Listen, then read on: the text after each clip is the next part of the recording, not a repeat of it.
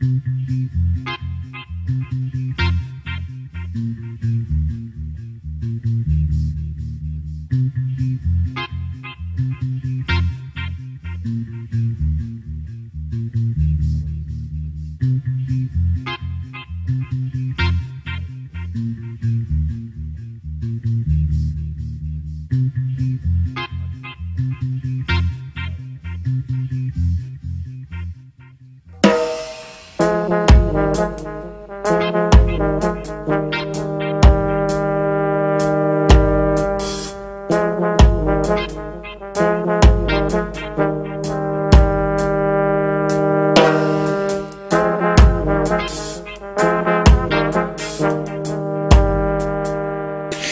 am Geigelstein bei der Pliner Hütte, im Hintergrund der Wilde Kaiser und wir befinden uns hier in der alpinen Mattenzone.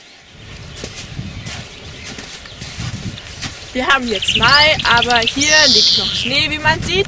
Im Tal blühen zwar schon die Blumen, aber hier oben ist der Winter eigentlich noch nicht vorbei.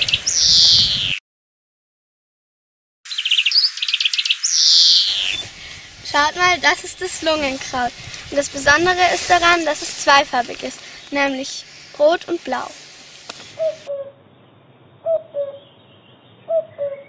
Die Bienen sehen kein Rot und so könnten sie nur zu den blauen fliegen, in denen Nahrung für sie bereitsteht, denn in den roten steht keine Nahrung für sie bereit.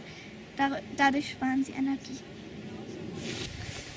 Das sind die Trottelblumen, aber nicht mit zwei T wie ein Trottel, sondern mit zwei D.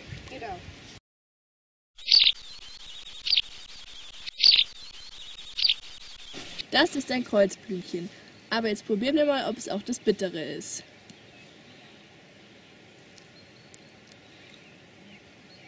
Ja.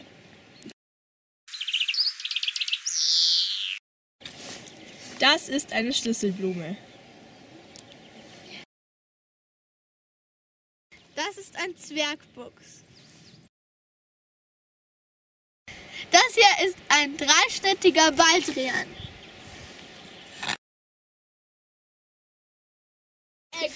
Das sind Buschwindröschen.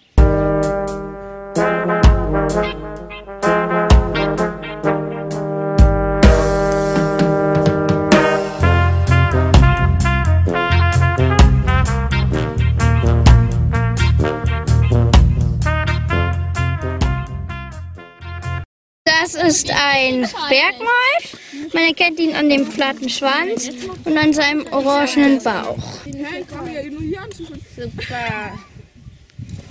Also Molche sind wechselwarm und deswegen ist es hier oben für die ziemlich blöd, weil hier so lang Schnee ist.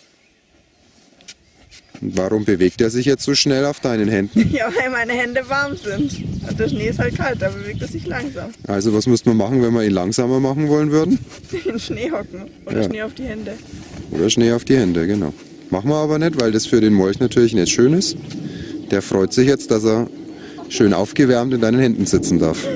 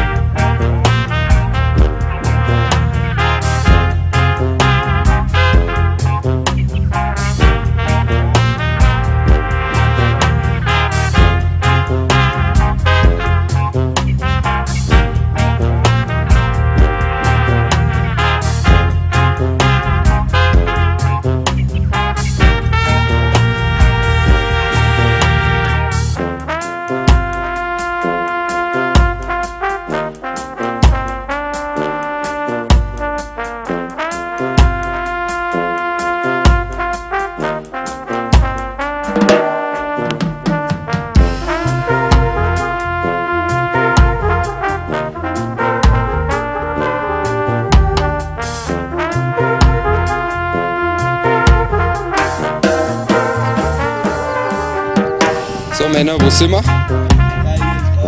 Gipfel.